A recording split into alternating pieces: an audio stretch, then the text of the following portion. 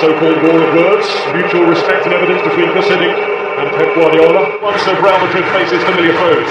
With get the centre covering in midfield, Barcelona's bigger problem is the back with Rafael Marquez injured and Carlos Diaz, 42-year-old Norwegian psychology ball. Lampard looking to pull it back. And it's in!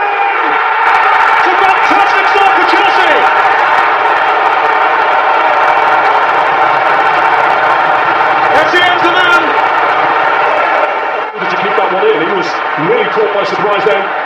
Good pull by Mourinho, he goes down. Yeah, he's just beating him, he's getting the free kick to Chelsea. Really think this in.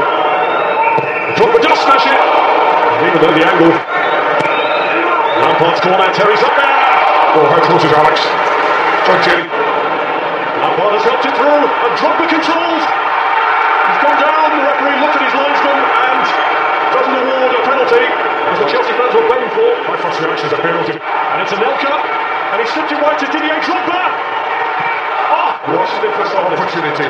What an opportunity for that vital, vital. This is the competition's top scorer. Anelka looking to get in here for Chelsea, but what's the decision with Abidal? It's red. He was lucky to escape it in the first half. He's gone now.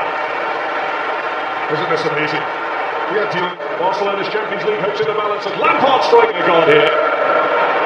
Anelka. Is that handball against Piqué? The referee says no. Does he move hands? Terry, Eto broke from him, but it's Messi. It's Iniesta!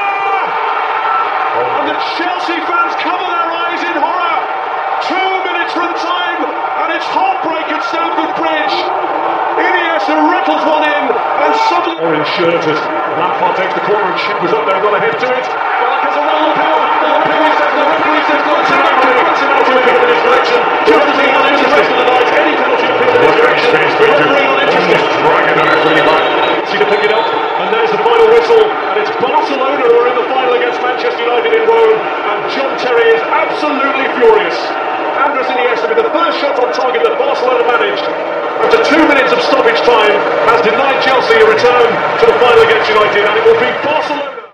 With young things that's going on out, strong